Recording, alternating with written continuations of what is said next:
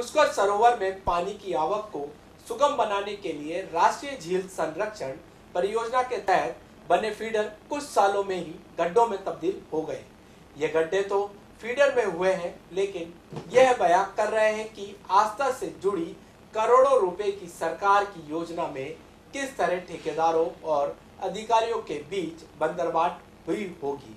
वैसे, इस योजना में लापरवाही की परतें तो निर्माण के बाद से ही धीरे धीरे खुलती रही है, लेकिन अफसोस इस बात का है कि 50 करोड़ की इस महत्वपूर्ण योजना में आज तक किसी की ओर से एक शिकायत तक नहीं हुई।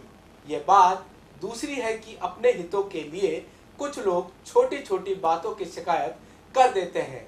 पुरोहितों का तो यह भी कहना है कि इस योजना में जमकर रुपयों की बंदरबाट हुई और इस योजना में हुए कामों का ना तो वैज्ञानिक आधार था और न ही कोई लंबी सोच। करीब अड़तालीस करोड़ चौरासी लाख रुपए की ये जो है योजना थी और कलेक्टर उस समय राजेश यादव होते थे और उस समय जो है विभाग के प्रमुख शासन सचिव जी एस संधु साहब और माननीय मंत्री धारीवाल जी पुष्कर विज़िट पे आए थे, तब हमने जो है उनको रूबरू लिखित में पत्र और फ़ोटो दिए थे कि जो है काम के नाम पे जो ठेकेदार और अधिकारी लिपापोती कर रहे हैं, लेकिन जो है पूरी पुख्ता कार्रवाई हुई नहीं और नतीजा आज ये है कि जो है पचास करोड़ रुपए जो लगे वो मिट्टी में मिल रहे हैं और फीडर जो है साढ़े चौदह किलोमीटर की वो जगह जगह से पानी के बहाव के साथ उखड़ने लगी है।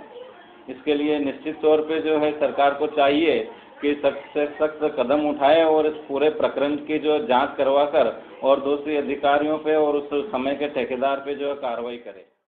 स्वामी न्यूज़ के सभी दर्शक तरोताजा खबरों के लिए यूट्यूब पर स्वामी न्यूज़ को सब्सक्राइब करें। साथ ही शहर से जुड़ी तमाम खबरों के तुरंत अपडेट्स के लिए बेल आइकन पर क्लिक करें। यह न्यूज़ आपको कैसी लगी? इसके लिए हमें कमेंट बॉक्स में आपके अमूल्य सुझाव दीजिए और इस वीडियो को लाइक व शेयर करें। हो प्यार का इजहार करना या फिर हो पेट भरना मौज मस्ती का मूड हो हो दोस्तों को खुश करना। ज़िंदगी को जी ले।